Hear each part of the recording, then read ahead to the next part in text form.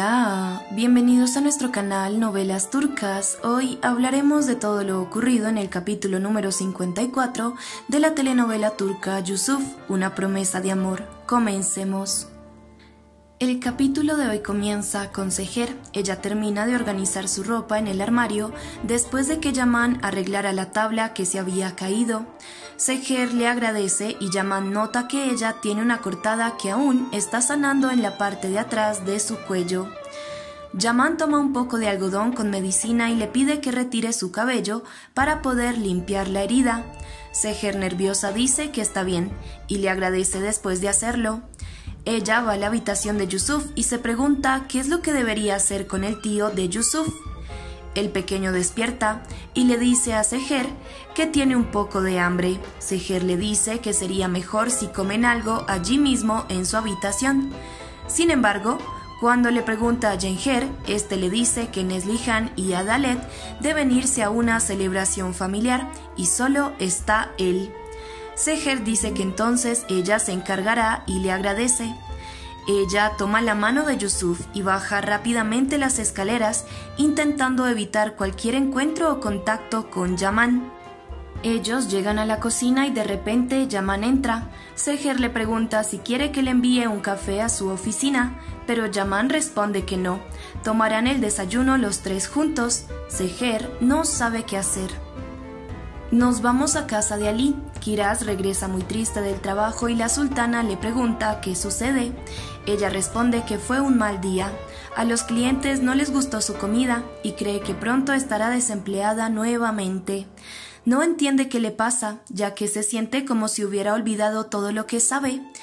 La sultana le dice que lo único que nunca debe hacer es rendirse. Conoce a un buen cocinero, así que lo contactarán y saldrá de ese problema. En la mansión, Yusuf, Yaman y Seher están desayunando. Seher le pide a su sobrino que coma lo más rápido que pueda y Yusuf le pide que espere, mientras Yaman solo la observa detenidamente. Al terminar, Seher se pone de pie y dice que será mejor que regresen ya a la habitación. Yusuf responde que se le antojan galletas de limón y le pide que por favor las prepare. Seher debe aceptar y las prepara rápidamente.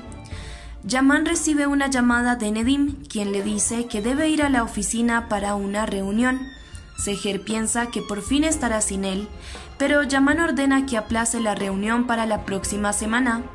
Yusuf se pone feliz al escucharlo. Seher no soporta que Yaman se le acerque, pues siente que su corazón dejará su pecho. Ella le pide a Jenher que vigile las galletas en el horno, que estarán listas en 10 minutos, y le pide a su sobrino que suban ya. Yaman se da cuenta de la prisa de Seher y aunque se siente triste, permite que suban. Por otro lado, vemos a unos hombres de los Kamgos abriendo un contenedor y sacando personas de allí. Luego estas personas son obligadas a subir a un contenedor perteneciente a la empresa de Yaman y los encierran ordenándoles que no hagan ningún ruido o los quemarán vivos. Otro hombre cierra la puerta con candado y llaman al jefe para decirle que la misión está completa y ya puede levantar la denuncia. Yaman está sentado en una de las mesas del gran balcón de la mansión Jenher le lleva su teléfono y Yaman le pide que tome asiento, ya que hace mucho tiempo no hablan juntos. Yaman le pregunta si vio lo feliz que estaba su hermano ya hoy. Jenher responde que eso se debe a que ama mucho a Iqbal. La felicidad de la gente siempre está en su otra mitad, la cual buscan a lo largo de sus vidas. Todos, incluso él, también. Yaman responde que eso es algo muy difícil para él. Jenher le dice que Yaman Kirimli lo supera todo, incluso lo más imposible y difícil. Yaman se queda pensando en estas palabras. En la noche, Seher está en su habitación. Tanto es su deseo de no encontrarse con Yaman que ha aguantado hambre todo el día. Ella comienza a sentirse incluso un poco mareada. Seher se acerca al balcón de su habitación y toca su cuello sin querer dejar caer su collar y sabe que debe ir a buscarlo. Ella baja las escaleras cuidadosamente para no hacer ruido y busca su collar. Sin embargo, siente otro mareo aún más fuerte y está a punto de caer. Vemos que Yaman la toma en sus brazos y le dice que ahora comerá sin objeción alguna. Él también le da el collar que encuentra en una esquina. Nos vamos con Ali. Después de recibir una denuncia sobre tráfico de personas, ellos van al lugar indicado y encuentran un contenedor de la empresa de Yaman. Al cortar la cadena con la que está cerrada la puerta, se dan cuenta de que hay varias personas adentro. Firat no lo puede creer porque confiaba en Yaman, pero Ali le dice que sabía que ese hombre tenía trabajos sucios. Mientras Yaman y Seher están cenando, Jenger les dice que llevará a Yusuf a dormir. Yaman nota de nuevo temor en el rostro de Seher y comienza a hablarle sobre el miedo, cómo a lo largo de la vida se debe enfrentar en sus diferentes facetas y cómo hace que la gente cambie. Luego Yaman la mira fijamente y le pregunta si acaso le tiene miedo. Seher lo mira muy sorprendida y responde que no le teme. Yaman dice que ambos han pasado por muchas cosas juntos. Ambos recuerdan todos los momentos difíciles que han pasado. Cuando Yaman encerró a Seher en el sótano, cuando casi la mata con una flecha, cuando ella recibió una bala por él y cuando Yaman la rescató de ser enterrada viva. Yaman le dice que no se conocían muy bien y es por eso que cometieron muchos errores, pero lo que sea que hicieron fue todo por Yusuf. De alguna forma la situación cambió y cree que lograron ver la manera de unirse.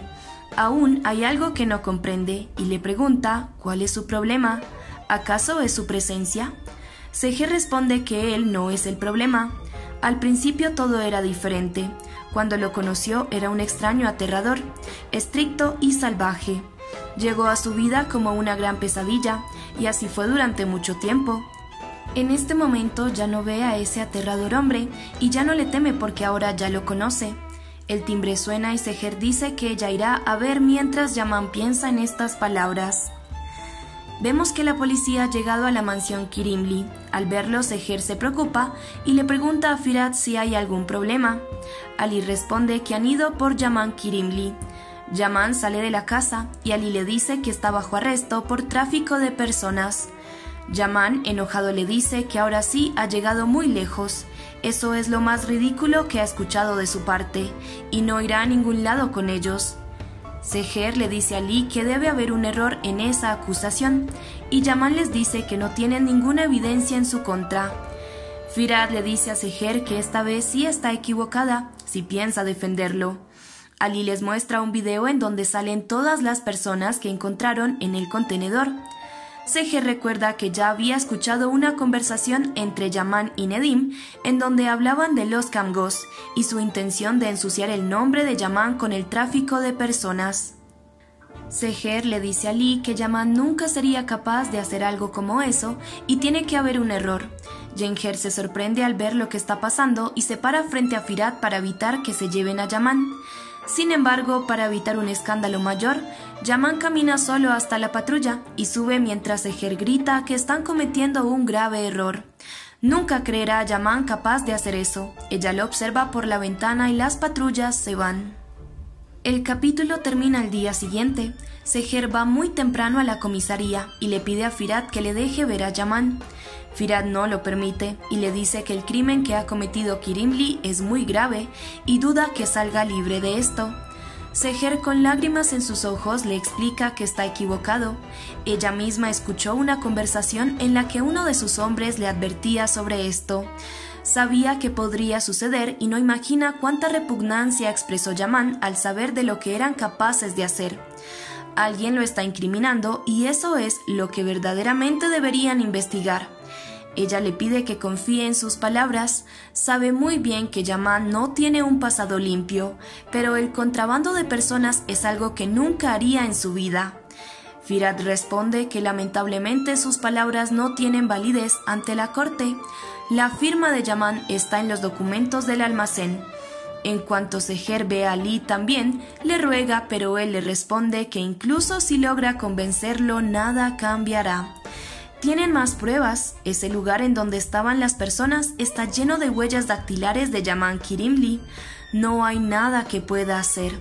Seher le pide que al menos le permita verlo y hablar con él. Ali acepta, pero solo puede verlo por pocos minutos. Seher le agradece.